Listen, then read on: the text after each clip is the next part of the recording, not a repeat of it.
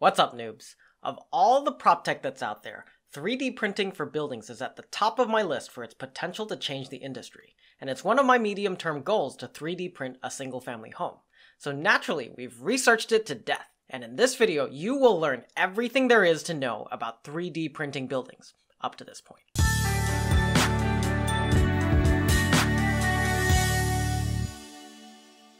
I am obsessed with 3D printing technology for buildings because to me, it's clearly the next big step in construction. There are plenty of companies out there focusing on modular housing and building houses like cars, but I see that as the hybrid cars of housing. It's just a stepping stone. Because all the modular housing companies we've spoken to don't provide much of a cost savings above traditional methods. It basically shifts traditional construction into a warehouse under controlled conditions. The benefits are typically limited to schedule gains and improved safety, which are valuable but not revolutionary enough for us as developers to make it an obvious option, which is why it's struggled to gain traction. 3D printing, on the other hand, would be revolutionary. Architects would be able to design super complex shapes, and later, AIs would be able to replace those architects to design even more complex shapes that would be structurally optimized and aesthetically interesting. The amount of required human labor would drop dramatically Construction schedules would speed up 10x and the materials can be more environmentally friendly. Anything that offers such a drastic improvement in cost, schedule, and sustainability would be a disruptive innovation. That being said, let me give you a quick history lesson on 3D printing to show you how we got to where the technology is now. The concept of 3D printing, or additive manufacturing, surprisingly wasn't all that far behind 2D inkjet printing, with the first mentions in a science fiction magazine in 1950, and two decades later gaining attention in an act. By the 1980s, things started leaping forward from the magazines to patents being filed for a few different 3D printing methods. The first method was a stereolithography apparatus, or SLA, which shoots ultraviolet laser beams under a pool of liquid photosensitive polymer to selectively harden portions of it, one layer at a time. This is the method that looks like the T1000 rising out of the floor. The second method is called selective laser sintering, which is an upside down version of SLA, using powder instead of a liquid polymer.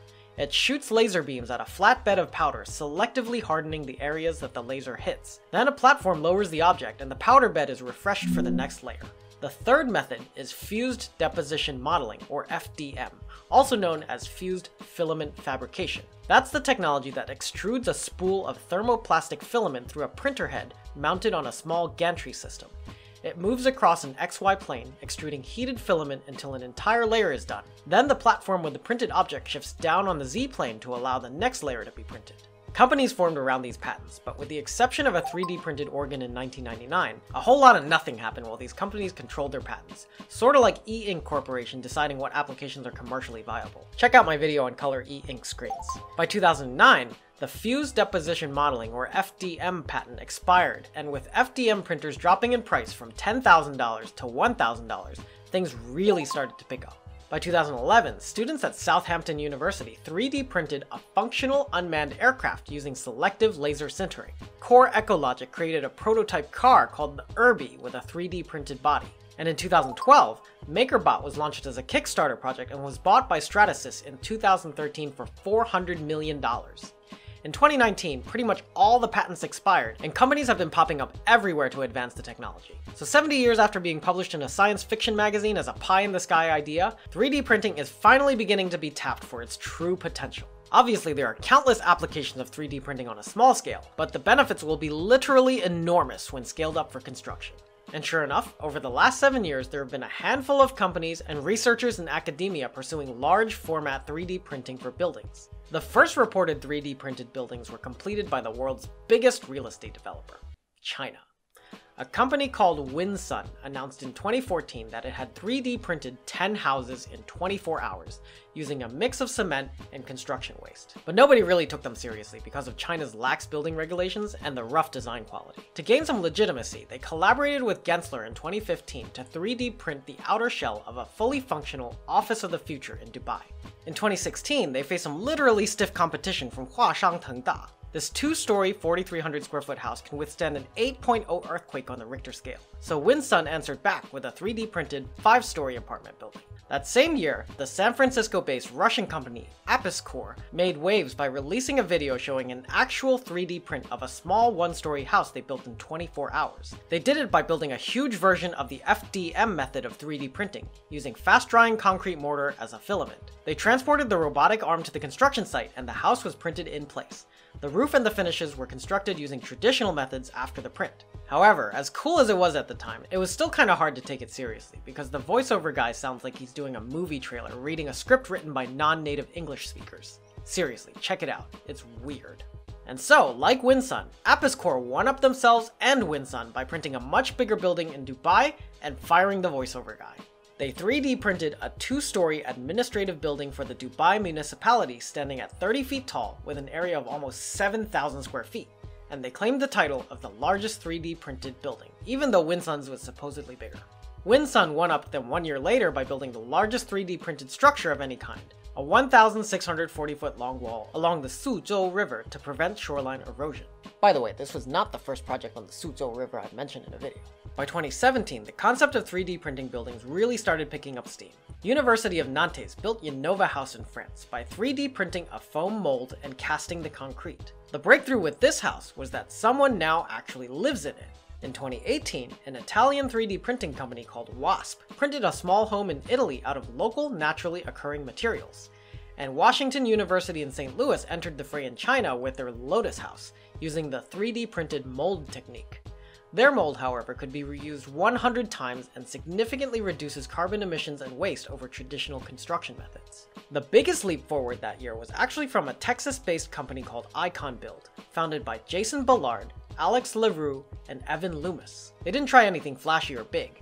They just built a really small house using a really big 3D printing gantry system for 4,000 bucks and took the title of first 3D printed home in America. What got the media's attention was that they had a real business model behind this, whereas all other homes to this point were just showcasing technology. Icon Build set out to print cheap homes for the homeless in third world countries, and then shoot for the moon. No, literally. They secured a $35 million venture funding round in 2020 and won a NASA contract to design construction systems for future moon missions. Speaking of interplanetary developers, NYC-based AI Space Factory had emerged around the same time, founded by former KPF architects. Shout out to David Malott, David Rydell, and Michael Bentley. Let's catch up guys! On the terrestrial side of their business, they approached the market from the luxury end, packing their two-story house design with all sorts of technology and raising money for their first house on Indiegogo. On the extraterrestrial side, they also won a $500,000 NASA award for the 3D printed Mars Habitat Initiative. Their 30-hour print used a biodegradable basalt composite that's stronger than concrete, and it needed almost no human assistance. In 2020, Long Island-based company SQ4D printed the largest permitted home in the US and put it up for sale. You can check out the Zillow listing in the description. So what's next for 3D printing? Well, each of these companies are always pursuing higher print resolutions, meaning thinner layers and smoother surfaces. They're also exploring different print substrates for greater structural integrity and faster print times. Once they can pass certain size, resolution, cost, and structural thresholds, I think it'll trigger a rapid adoption of the technology because of the no-brainer benefits it'll provide. Academia gives us the biggest hints of what's coming. DFAB House was an ETH Zurich project combining robotics, 3D printing, digital design, and home automation technologies. So their three-story building showcases an array of different materials and construction techniques, like curved concrete formed from 3D printed molds on one floor, and wood frames arranged by robots into complex geometries on another floor. Looking further ahead, MIT Media Lab's Mediated Matter division is usually light years ahead of commercially viable technology. PhD graduate Steven Keating did his 2016 thesis on a project where he and a few other master's students built a self-driving robotic crane with 6 degrees of articulation, which has way more range of motion to print crazy shapes than any of the other companies mentioned before. Link to his thesis defense and paper in the description if you're interested. It's really interesting, and it's also really sad because Keating passed away in 2019 after suffering from a massive brain tumor, which he scanned after it was removed, and then he 3D printed it and he handed it out as a business card. MIT Media Lab continues to show us hints of the future with lots of research into robotic swarms. This actually scales down 3D printing, but with the end goal of printing even larger scale structures. Miniature robots can act as tiny 3D printers by climbing or flying over to where they need to extrude some material. Or in this particular project, these are mobile FDM printers weaving fiberglass filaments to create these 15 foot tall tubes. I don't know about you, but I am looking forward to working for our future robot overlords. But till then, stay curious, noobs.